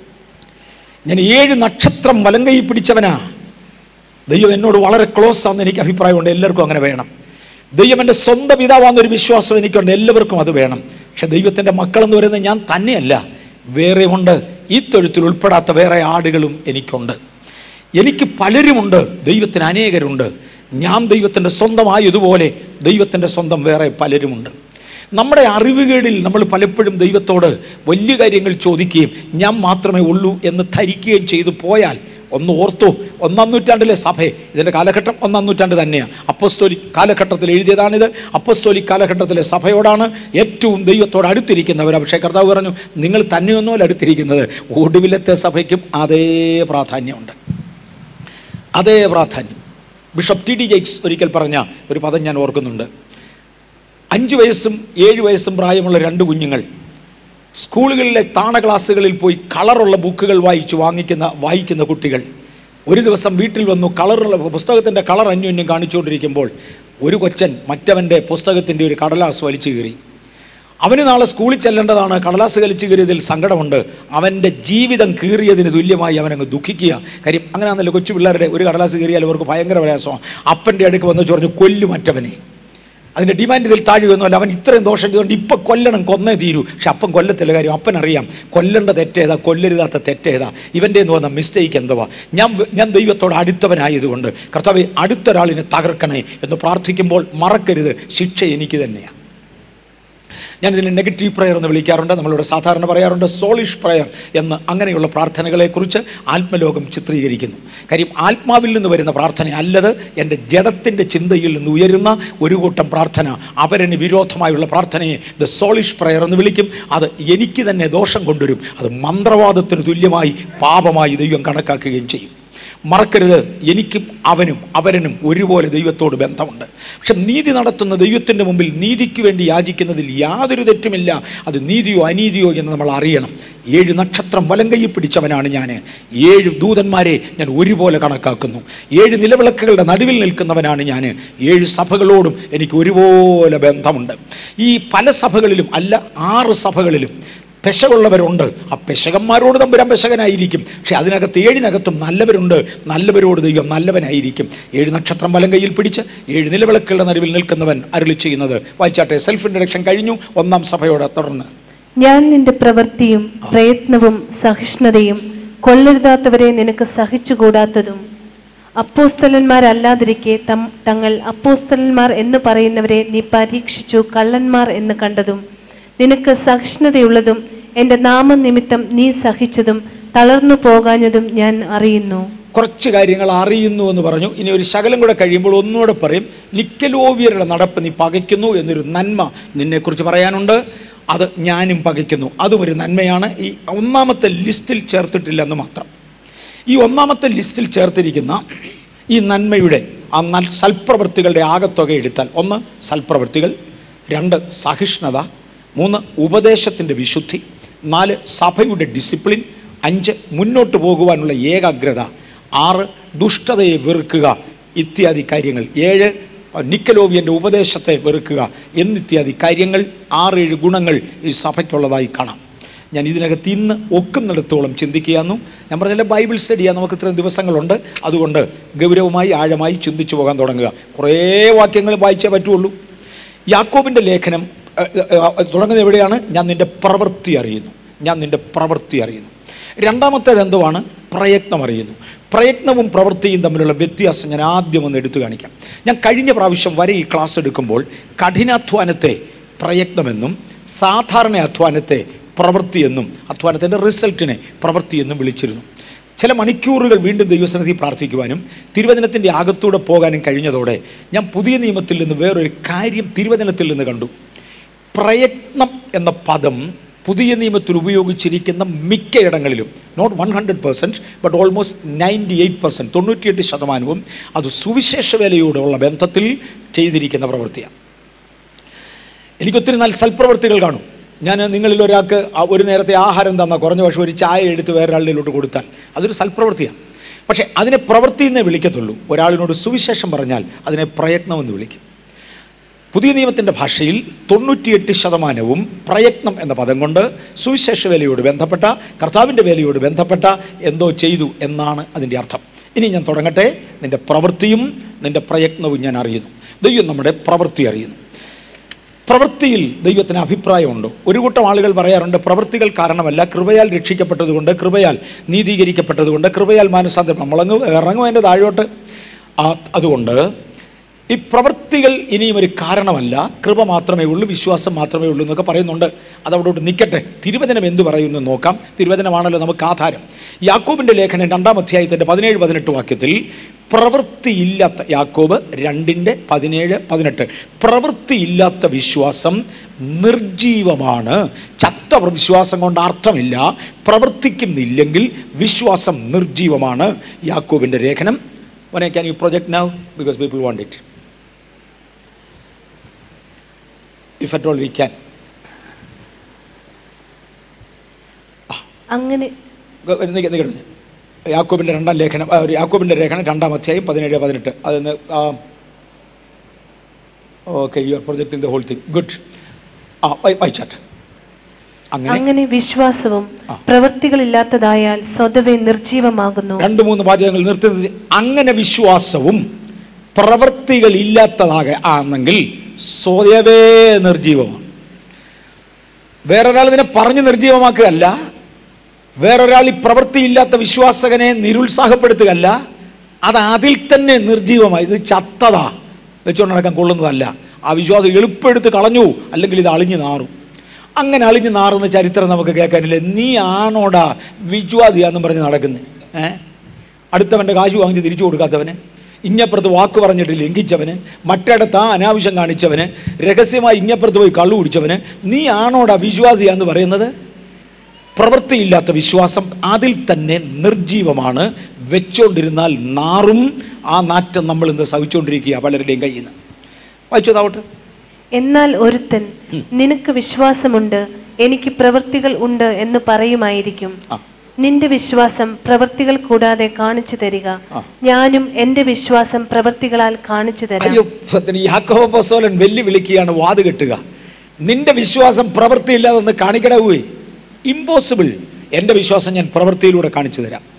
വിശ്വാസവും പ്രവൃത്തിയും ഹാൻഡ് ഇൻ ഹാൻഡ് ഒരുമിച്ച് പോകത്തുള്ളൂ. ഒന്നാം സഭയെ ഞാൻ നിന്റെ പ്രവൃത്തി അറിയുന്നു. വായിക്കാം. ഒന്ന് പത്രോസ് രണ്ടിന്റെ പന്ത്രണ്ട്. കുറേ വാക്യങ്ങളുണ്ട്. രണ്ടിന്റെ പതിനൊന്നും പന്ത്രണ്ടും ചേർത്ത് വായിക്കാം. പ്രിയമുള്ളവരെ പ്രവാസികളും പരദേശികളുമായ നിങ്ങളെ ആത്മാവിനോട് പോരാടുന്ന ജഡമോഹങ്ങളെ വിട്ടകന്ന് ഇനി ഈ പ്രവൃത്തി എന്ന് പറയുന്നതിന്റെ വേറൊരു വിശദീകരണത്തിലോട്ട് കയറുകയാണ്. നിങ്ങളുടെ ആത്മാവിനോട് പോരാടുന്ന ജഡത്തിന്റെ മോഹങ്ങളെ വിട്ടകന്ന് മോഹങ്ങളെ വിട്ടകന്ന് വായിച്ചു. ജാതികൾ നിങ്ങളെ ദുഷ്പ്രവർത്തിക്കാർ എന്ന് ദുഷിക്കും തോറും നിങ്ങളുടെ നല്ല പ്രവൃത്തികളെ കണ്ടറിഞ്ഞിട്ട് സന്ദർശന ദിവസത്തിൽ ദൈവത്തെ മഹത്വപ്പെടുത്തേണ്ടതിന് അവരുടെ ഇടയിൽ നിങ്ങളുടെ നടപ്പ് നന്നായിരിക്കണം എന്ന് ഞാൻ പ്രബോധിപ്പിക്കുന്നു. പത്രോസ് പറയുമ്പോൾ നിങ്ങളുടെ നടപ്പ് നന്നായിരിക്കണം നിങ്ങളുടെ പ്രവൃത്തി നന്നായിരിക്കണം എന്ന് പറയുമ്പോൾ അതിന്റെ അർത്ഥം എന്തുവാ? നിശ്ചയമായും സാധുക്കളെ സഹായിക്കുന്നതിനകത്ത് അർത്ഥമുണ്ട്. നേരത്തിന് എഴുന്നേൽക്കുന്നതും നേരത്തെ കിടക്കുന്നതും ജീവിതത്തിൽ ഡിസിപ്ലിൻ സൂക്ഷിക്കുന്നതിനകത്ത് അർത്ഥമുണ്ട്. അതെല്ലാം നല്ല കാര്യം. നമ്മൾ അവിടെ എല്ലാം കവർ ചെയ്തു വരും. പക്ഷേ പ്രധാനമായും പുതിയ നിയമലേഖകൻ ഉദ്ദേശിക്കുന്നത് നിങ്ങളുടെ ആത്മാവിനോട് പോരാടുന്ന ഈ ജഡത്തിനകത്തുള്ള ചില മോഹങ്ങളും അതിന്റെ ചില വികൃതികളും ഉണ്ടല്ലോ അതൊന്നും നടക്കാനാണ് ആ പ്രവൃത്തിയെയാണ് ലോകം കാണേണ്ടത്. അരെ അവന് ജയിക്കാൻ കഴിയാത്തത് അവിടെ. അവന്റെ സമനില തെറ്റുന്നത് അവിടെയാ. അവിടെയാണ് നീ ജയിച്ച് കാണിക്കേണ്ടത്. സൽപ്രവൃത്തി എന്ന് പറയുന്നതിന്റെ ഒന്നാമത്തെ അർത്ഥം പത്രോസിന്റെ ഭാഷയിൽ ജഡത്തെ മലിനമാക്കുന്ന ആത്മാവിന് ദോഷം വരുത്തുന്ന ആ ജഡീക വികാരങ്ങൾ അത് അടക്കി. അത് കൊണ്ടുവരുന്ന പ്രവൃത്തികളിൽ നിന്ന് മാറി നിൽക്കുക. വേറൊരു ഭാഷയിൽ ജഡമോഹം കൺമോഹം ജീവനത്തിന്റെ പ്രതാപം എന്നിങ്ങനെ നമ്മുടെ ജഡത്തെ മലിനമാക്കി ആത്മാവിനെ നശിപ്പിച്ച് കളയുന്ന ആ പ്രവൃത്തികൾ വിട്ട് ദൈവത്തിന് യോഗ്യമായ പ്രവൃത്തികൾ ചെയ്യുക. ജഡമോഹങ്ങൾ വിട്ട് നല്ല പ്രവൃത്തി ചെയ്യുക. അത് ചുറ്റുവട്ടമുള്ളവർ കാണണം. അത് താൻ എടുത്തു പറയുമ്പോൾ മത്തായുടെ സുവിശേഷത്തിൽ യേശു പറയുന്ന പലതിനോടും ചേർത്താണ്. ഇനി മത്തായുടെ സുവിശേഷത്തിൽ യേശു പറയുന്ന ഒരു മറുവശമുണ്ട്. ഞാൻ അങ്ങോട്ടൊന്ന് പോകട്ടെ. ഇരുപത്തിയഞ്ചാം അധ്യായം മുപ്പത്തിയഞ്ച് മുപ്പത്താറ് വാക്യങ്ങൾ.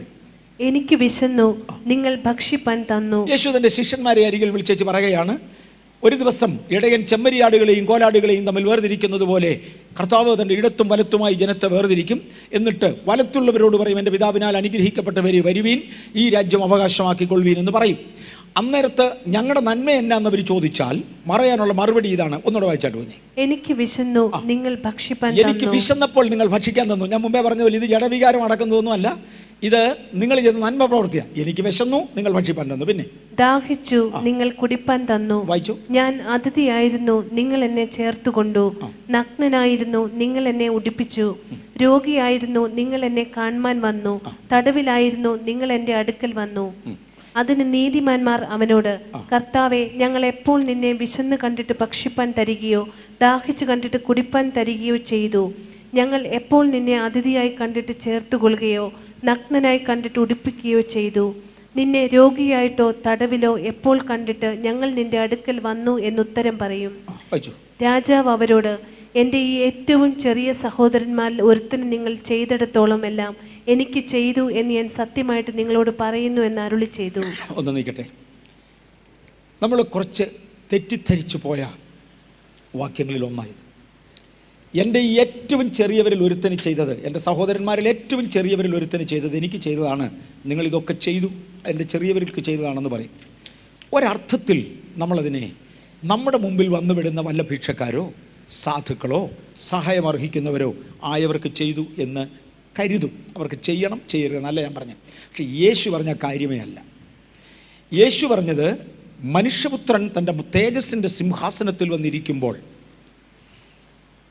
അതായത് മഹോപദ്രവകാലത്തിന് ശേഷം നടക്കുന്ന യുദ്ധത്തിന്റെ അവസാനത്തിൽ വന്നിരിക്കുമ്പോൾ മഹോദ്രവകാലത്ത് ഈ ഭൂമിയിൽ സഫർ ചെയ്ത യഹൂദന്മാരോട് നിങ്ങൾ എന്തു ചെയ്തു എന്നതിനെക്കുറിച്ചാണ് പറയുന്നത്.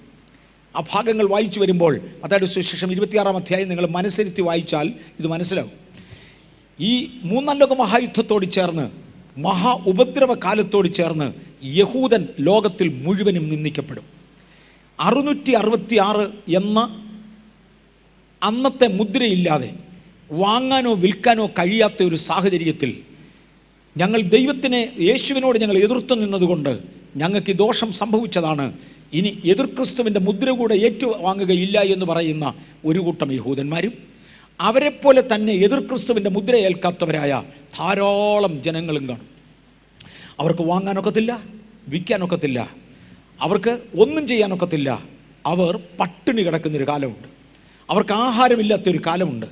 ആ ചിതറി നടക്കുന്ന എന്റെ ശിഷ്യന്മാരിൽ ഏറ്റവും ചെറിയവന് എന്റെ സഹോദരന്മാരിൽ ഏറ്റവും ചെറിയവൻ യഹൂദനോടും യേശുവിന്റെ പ്രവൃത്തിക്ക് വേണ്ടി വേർതിരിഞ്ഞ അന്ന് വേർതിരിഞ്ഞവനോടും നിങ്ങൾ കാണിക്കുന്ന പ്രതികരണത്തിനൊത്തവണ്ണം ഞാൻ നിങ്ങളോട് പ്രതികരണം ചെയ്യും. അതാണ് പറഞ്ഞത്. എനിക്ക് ദാഹിച്ചു. നിങ്ങൾ എനിക്ക് കുടിക്കാൻ തന്നു. ഞാൻ തടവിലായിരുന്നു. നിങ്ങൾ എന്നെ വന്നു കണ്ടു. എനിക്ക് വസ്ത്രമില്ലായിരുന്നു. നഗ്നനായിരുന്നു. നിങ്ങൾ എന്നെ ഉടുപ്പിച്ചു. ഇത് ഇന്ന് കാണുന്ന സാധാരണക്കാരനോട് ചെയ്യുന്നതല്ല സത്യമായിട്ടും ദൈവവചനത്തിൽ അതല്ല അതിന്റെ അർത്ഥം. അതിന്റെ അർത്ഥം യേശുവിന്റെ മാമത്തിനു വേണ്ടി നിൽക്കുന്നവരോടും കർത്താവിന്റെ ദാസന്മാരോടും പ്രത്യേകിച്ച് യഹൂദനോടും ആ ദിവസങ്ങളിൽ ചെയ്തതിനൊത്തവണ്ണമാണ് അതിന്റെ അർത്ഥം സാധാരണക്കാരന് നന്മ ചെയ്താൽ പ്രയാ പ്രയോജനമില്ലെന്നല്ല. സാധാരണക്കാരന് നന്മ ചെയ്യുന്നതിനെ ഏകയും രണ്ടായി തിരിക്കാം എന്റെ നാമനിമിത്തം ഒരു പാനപാത്രം തണ്ണീരെങ്കിലും കൊടുത്തവൻ. ആൾ വെറും സാധാരണക്കാരനായിരിക്കാം പക്ഷെ ഞാൻ ആളിനെ കണ്ടത് കർത്താവിന്റെ നാമത്തിൽ ഒരു പൊതുസ്ഥലത്ത് നിൽക്കുന്ന സാഹചര്യത്തിൽ സർട്ടൻ കേസസിൽ എനിക്കറിയാം കർത്താവിന്റെ നാമത്തിൽ പലരും എന്നോട് എന്തെങ്കിലും ഒരു സഹായം ആവശ്യപ്പെട്ടെന്ന് വരും. സഹായം ആവശ്യപ്പെടുന്നവർക്കെല്ലാം സഹായം ചെയ്യാൻ ഒക്കത്തില്ല കാര്യം. ഞാൻ ഈ കഴിഞ്ഞ ദിവസം ഒരാളിനോട് പറഞ്ഞു അങ്ങനെ സഹായം ചെയ്യാൻ ഇരുന്നാൽ ഒരു മണിക്കൂർ കൊണ്ട് നമ്മുടെ കംപ്ലീറ്റ് വിറ്റാലും വാങ്ങിച്ചുകൊണ്ട് പോകാൻ ആളുണ്ട്. ആൾ കുറവൊന്നുമല്ല വാങ്ങിച്ചുകൊണ്ട് പോകാനുള്ള അപ്പോൾ അത് ഒക്കുന്ന കാര്യമല്ല. പിന്നെ ഒക്കുന്ന ചെറിയ സഹായം. അത് കർത്താവിന്റെ നാമത്തിലാണ് ചെയ്യുന്നതെങ്കിൽ അതിന് പ്രതിഫലമുണ്ട്.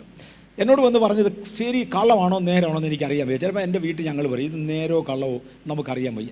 ഈ അങ്ങോട്ട് പറഞ്ഞു വന്നാൽ ഒരുപാടുണ്ട് ആത്മലോകത്ത് കേട്ടോ. പിന്നെ നമ്മൾ ഈ ചെയ്യുന്ന കർത്താവിന്റെ നാമത്തിലായിട്ട് ഇരിക്കട്ടെ. ഇവൻ കള്ളനാണെങ്കിൽ പോലും കർത്താവിന്റെ നാമത്തിലല്ലേ വന്നേ? അല്ലെന്ന് നമുക്കറിയത്തില്ലല്ലോ. അവൻ തെറ്റുകാരനെന്ന് നമുക്കറിയത്തില്ലല്ലോ. ഈ പറഞ്ഞത് കള്ളമാണെന്ന് നമുക്കറിയത്തില്ലല്ലോ. അതുകൊണ്ട് കർത്താവിന്റെ നാമത്തിൽ നമ്മൾ ചെയ്യുകയാണ്. അതിന്റെ പ്രതിഫലം നമുക്ക് കിട്ടണം. കർത്താവിന്റെ നാമത്തിൽ അല്ലാതെ ചെയ്തതോ? അതിന് ഈ ഭൂമിയിലും പ്രതിഫലമല്ല വരാനുള്ളതിലും പ്രതിഫലമില്ല. അതങ്ങ് പോയി. അത്ര തന്നെ. എനിക്ക് പണം വേസ്റ്റ് ചെയ്യാനുണ്ടായിരുന്നു. അതുകൊണ്ട് വേസ്റ്റ് ചെയ്തു. അത് കവിഞ്ഞൊന്നും അതിനകത്ത് അർത്ഥമില്ല. കർത്താവിന്റെ നാമത്തിൽ നമ്മൾ ചെയ്യുന്നതിന് ഒക്കെ പ്രതിഫലമുണ്ട്. അത് കർത്തൃദാസന്മാർക്കാണെങ്കിൽ ഭയങ്കരം. ഞാൻ ആ പദത്തിലോട്ട് ഒന്നുകൂടെ ഇറങ്ങാൻ പോവുക പ്രവാചകനെന്ന് കണ്ട് പ്രവാചകനെ സ്വീകരിച്ചവന് പ്രവാചകന്റെ പ്രതിഫലമുണ്ട്. പ്രവാചകനെന്ന് തെറ്റിദ്ധരിച്ച് കള്ളപ്രവാചകനെ സ്വീകരിച്ചാലോ? ആ വാക്ക് മറക്കരുത്. യേശുവിന്റെ വാക്കാ. പ്രവാചകനെന്ന് കണ്ട് പ്രവാചകനെ സ്വീകരിച്ചവന് പ്രവാചകന്റെ പ്രതിഫലമുണ്ട്. സുവിശേഷകനെന്ന് വിചാരിച്ച് സുവിശേഷകനെ സ്വീകരിച്ചാൽ സുവിശേഷകന്റെ പ്രതിഫലമുണ്ട്. എന്റെ ദാസനെന്ന് വിചാരിച്ച് ദാസനെ സ്വീകരിച്ചാൽ ദാസന്റെ പ്രതിഫലമുണ്ട്. തെറ്റിദ്ധരിച്ച് കള്ളനെ സ്വീകരിച്ചാലോ? ഒരു പ്രതിഫലവും കിട്ടാനില്ല. ശിക്ഷ കിട്ടാതിരുന്ന ഭാഗ്യം. ഞാനിവിടെ പരസ്യമായിട്ട് ഒരിക്കൽ പറഞ്ഞ ഒരു സാക്ഷി എനിക്ക് ഓർമ്മയുണ്ട്. ഇവിടെ ഞാൻ പരസ്യമായിട്ട് പറഞ്ഞ ഒരു അനുഭവം. ഒരു ദിവസം പെട്ടെന്ന് ഞാൻ പ്രതീക്ഷിച്ചതിനേക്കാൾ ഒരു അല്പം കൂടുതൽ ഒത്തിരി ഒന്നുമില്ല ചില മൂന്നാലായിരം രൂപ എന്റെ ലെസ്റ്റാവും ഞങ്ങളുടെ എത്ര പൈസ വരുമെന്ന് എനിക്കറിയാം എത്ര വെച്ചേക്കുമെന്ന് എനിക്കറിയാം. ഞങ്ങൾക്ക് ഇമ്മീഡിയറ്റ്ലി ആവശ്യമുള്ളതിനേക്കാൾ ഒരു മൂന്നാലായിരം രൂപ മൂന്നായിരമാണെന്ന് തോന്നുന്നു എന്റെ ലെസ്റ്റാവും അപ്പം ഞാൻ പറഞ്ഞ ആദ്യം വിളിക്കുന്ന ദൈവദാസനാരോ ആവശ്യത്തിലുള്ള ഒരാൾ അദ്ദേഹത്തിന് കൊടുക്കാൻ ദൈവം എന്റെ ഇപ്പോഴേ ഏൽപ്പിച്ചതാണ് ദാറ്റ്സ് ഇറ്റ് അടുത്ത ആരാ വിളിക്കുന്നതെന്ന് നോക്കാം. അന്ന് തന്നെ എന്നെ ഒരാൾ വിളിച്ചു. അപ്പോൾ എനിക്ക് മിക്കവാറും മനസ്സിലായി ഇത് അദ്ദേഹത്തിനുള്ളതാണ് എന്നോട് പറഞ്ഞു ഞാനിവിടെ വന്നിട്ടുണ്ട് ബാംഗ്ലൂരിൽ വന്നിട്ടുണ്ട്. മീറ്റിംഗ് വല്ലതും ഉണ്ടേ നന്നായിരുന്നു.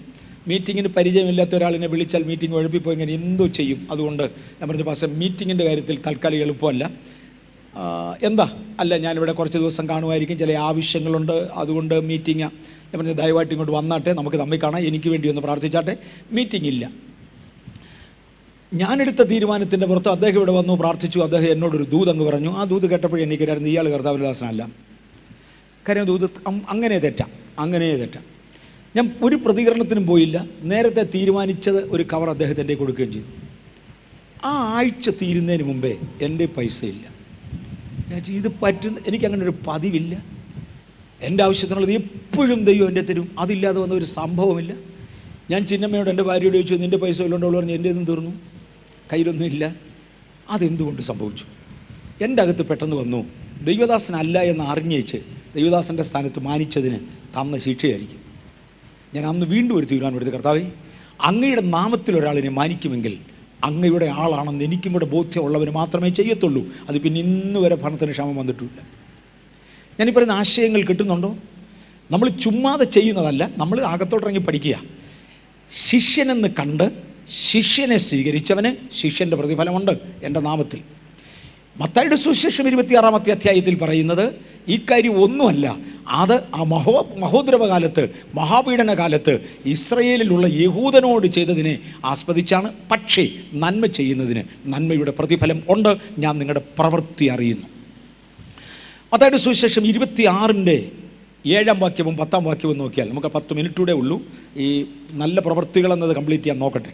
മത്തായിയുടെ സുവിശേഷം ഇരുപത്തിയാറിന്റെ ഏഴും പത്തും വാക്യവും വായിച്ചാൽ യേശുക്രിസ്തുവിന്റെ കാൽക്കൽ ഒരു സ്ത്രീ വിലയേറിയ സ്വച്ഛ ജഡമാംസള തൈലം ഭരണി പൊട്ടിച്ച് യേശുവിന്റെ കാൽക്കൽ ഒഴിച്ചു. യേശുവിന്റെ കാൽക്കൽ അത് ഒഴിച്ചു കഴിഞ്ഞ ഉടനെ ഒരാൾ ചോദിച്ചു അല്ലെങ്കിൽ ശിഷ്യന്മാർ പറഞ്ഞു ഇതൊരു വെറുഞ്ചലമല്ലേ ഇത് എന്തിനാ? യൂതായിക്കൊക്കെ തീരെ ഇഷ്ടപ്പെട്ടില്ല. അദ്ദേഹം പറഞ്ഞു ഇത് മുന്നൂറ് വെള്ളിക്കാശ് അധികം വിറ്റ് ഇത് ദരിദ്രന്മാർക്ക് കൊടുക്കാമായിരുന്നു. തുറന്ന് താഴെ എഴുതുന്നുണ്ട് ഇവന്റെ ദരിദ്രനോട് വിചാരിച്ചുണ്ടായിട്ടൊന്നും അല്ല. ഈ സ്ത്രീയെ ഉപദ്രവിക്കാൻ വേണ്ടി പറഞ്ഞതാണ് ചില സമയത്ത് ചില ലക്ഷറികൾ. എനിക്ക് തോന്നുന്നത് തെറ്റാണെന്ന് പലർക്കും തോന്നും തെറ്റാണ് കർത്താവ് പറഞ്ഞ ആ സ്ത്രീ അങ്ങ് വിടെ. അവൾ എനിക്ക് വേണ്ടി ചെയ്തതല്ലേ അങ്ങ് വിടെ. അവ ദൈവത്തെ മാനിച്ചുകൊണ്ട് ദൈവത്തെ ഡയറക്റ്റ് ബഹുമാനിക്കാൻ വേണ്ടി ചില ലക്ഷറികളൊക്കെ മുടക്കുമെങ്കിൽ അത് ദൈവത്തിന് ഇഷ്ടം. അത് ദൈവത്തിന് ഇഷ്ടം. അടുത്തത് ഒന്ന് ദശ്രോണിക്കർ ഒന്നാം അധ്യായത്തിന്റെ മൂന്നാമത്തെ വാക്യത്തിലും നിങ്ങളുടെ പ്രയത്നവും പ്രവൃത്തിയും എടുത്തു പറയുന്നത് കാണാം. അത് രണ്ടും ദൈവത്തിന് പ്രയോജനമാണ് അവിടെയും പ്രയത്നം എന്ന പദം കർത്താവിന്റെ വേലയെക്കുറിച്ചാണ്. മത്തയുടെ സുവിശേഷം ഏഴാം അധ്യായത്തിന്റെ ഇരുപത്തിരണ്ട് ഇരുപത്തിമൂന്ന് വാക്യങ്ങളിൽ ആന്റി നോമിനിസം എന്ന സബ്ജക്റ്റിനെ നമ്മൾ തൊടുകയാണ്. അത് നമ്മൾ വിശദീകരിക്കും. നാളെ അവിടെ എത്തിയേക്കും. ഇന്ന് നമ്മളോട് ഒരു കണ ഒരു രീതിയിൽ രീതിയിലും എത്തത്തില്ല. അതായത് സുശേഷം ഏഴാം അധ്യായം ഇരുപത്തിരണ്ട് ഇരുപത്തിമൂന്ന് വാക്യങ്ങൾ വായിക്കാമോ? കർത്താവേ കർത്താവേ നിന്റെ നാമത്തിൽ ഞങ്ങൾ പ്രവചിക്കുകയും നിന്റെ നാമത്തിൽ ഭൂതങ്ങളെ പുറത്താക്കുകയും നിന്റെ നാമത്തിൽ വളരെ വീര്യപ്രവൃത്തികൾ പ്രവർത്തിക്കുകയും ചെയ്തില്ലയോ എന്ന് പലരും ആ നാളിൽ എന്നോട് പറയും. അന്ന് ഞാൻ അവരോട് ഞാൻ ഒരു നാളും നിങ്ങളെ അറിഞ്ഞിട്ടില്ല. അധർമ്മം പ്രവർത്തിക്കുന്നവരെ എന്നെ വിട്ടുപോകുവിൻ എന്ന് തീർത്തു പറയും. അധർമ്മം പ്രവർത്തിക്കുന്നവൻ എന്നാ ശുശ്രൂഷ ചെയ്താലും അപ്പം അത് ഞാൻ തീർത്ത് പറഞ്ഞോട്ടെ? എന്റെ പദമല്ല ദൈവോധനത്തിൽ നിന്ന് യേശുവിന്റെ വാക്ക.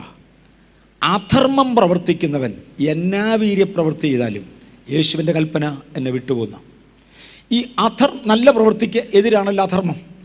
അധർമ്മം എന്നുള്ളതിനൊരു വിശദീകരണമുണ്ട്. അതിനെയാണ് ആന്റി നോമിനിസം എന്ന പേരിൽ അടുത്ത ദിവസങ്ങൾ ഞങ്ങളിവിടെ പ്രസന്റ് ചെയ്യാൻ പോകുന്നത്. ഇന്ന് ലോകത്തിലെ ആത്മീയരെ കാർന്ന് തിന്നുന്ന ഒരു വഴിതെറ്റിയ പഠനത്തിന്റെ തിരുവചന മറുപടിയായിരിക്കും ആന്റി നോമിനിസം അല്ലെങ്കിൽ ക്രമം തെറ്റിയുള്ള പ്രമാണം തെറ്റിയുള്ള ജീവിതം.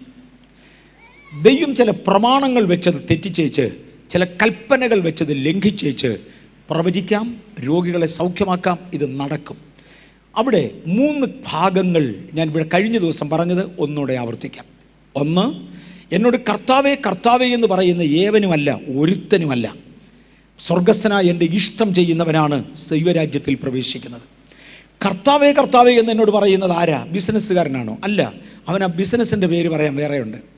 കർത്താവേ കർത്താവേ എന്ന് പറയുന്നത് ആരാ? കള്ളൂടനാണോ? അല്ല അവന് കള്ളിന്റെ പേര് പറയാനുണ്ട്. കർത്താവേ കർത്താവേ എന്ന് പറയുന്നത് ആരാ? സിനിമയ്ക്ക് പോകുന്നവനാണോ? അല്ല അവന് സിനിമയുടെ പേര് പറയാനുണ്ട്. പിന്നെ കർത്താവേ കർത്താവേ എന്ന് പറയുന്ന ആരാ? പള്ളിയിൽ പോകുന്ന ഞാനും നിങ്ങളുവാ. ചർച്ച് ഗോയേഴ്സ് നമ്മുടെ കാര്യമാണ് കർത്താവേ ഞങ്ങൾ നിന്റെ നാമത്തിൽ രോഗികളെ സൗഖ്യമാക്കി. കർത്താവേ ഞങ്ങൾ നിന്റെ നാമത്തിൽ പ്രവചിച്ചു. ഞങ്ങൾ നിന്റെ നാമത്തിൽ എന്നോട് കർത്താവേ കർത്താവേ എന്ന് പറയുന്ന ഏവനുമല്ല ക്ഷമിക്കണേ.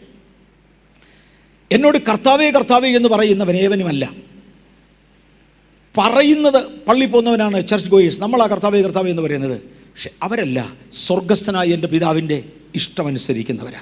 ഇവിടെ വരികയും ഇഷ്ടം അനുസരിക്കുകയും വേണം. ഇവിടെ വരുന്നവർ ഇഷ്ടം അനുസരിക്കണം. ഇഷ്ടം അനുസരിക്കുന്നവർ വരാതിരിക്കാൻ ഒക്കത്തില്ല. കാര്യം സൽപ്രവർത്തികളുടെ കൂട്ടത്തിൽ നന്മ ചെയ്യുവാനും കൂട്ടായ്മ ആചരിപ്പാനും മറക്കരുത്. നമ്മൾ അവിടോട്ട് വരും. ചിലർ ചെയ്യുന്നത് പോലെ നിങ്ങളുടെ സഭായോഗത്തെ അലക്ഷ്യമായി കരുതരുത് കരുതരുത്. ഇതൊക്കെ നന്മയുടെ ഭാഗങ്ങളാണ് ഞാൻ നിന്റെ പ്രവൃത്തി അറിയുന്നു. രണ്ടാമതൊരു കൂട്ടം ആളുകളെ കുറിച്ചാണ് നമ്മൾ വായിച്ചത്. കർത്താവെ ഞങ്ങൾ നിന്റെ നാമത്തിൽ ഭൂതങ്ങളെ പുറത്താക്കിയില്ലേ? ഞങ്ങൾ നിന്റെ നാമത്തിൽ തെരുക്കളി പഠിപ്പിച്ചില്ലേ? ഞങ്ങൾ നിന്റെ നാമത്തിൽ പ്രവചിച്ചില്ലേ? സത്യമാ അത് എന്നെപ്പോലുള്ളവരാണ് ഞാൻ പൊതുഭാഷയിൽ കഴിഞ്ഞ പ്രാവശ്യങ്ങളിൽ പറഞ്ഞ പോലെ ഇറ്റ് ഈസ് കരിസ്മാറ്റിക് മിനിസ്റ്റേഴ്സ് വേറെ ആരാ പ്രവചിക്കുന്നത് വേറെ ആരാ തെരുക്കളി ഭൂതത്തെ പുറത്താക്കുന്നത് ഇറ്റ് ഈസ് കരിസ്മാറ്റിക് മിനിസ്റ്റേഴ്സ് ഉണർവുകാരായ എന്നെപ്പോലെയുള്ള എന്റെ ലെവൽ മുതൽ മേളിലോട്ടുള്ളവരാണ് ഞാനതിലെ താഴത്തെ അറ്റത്ത് നിൽക്കും.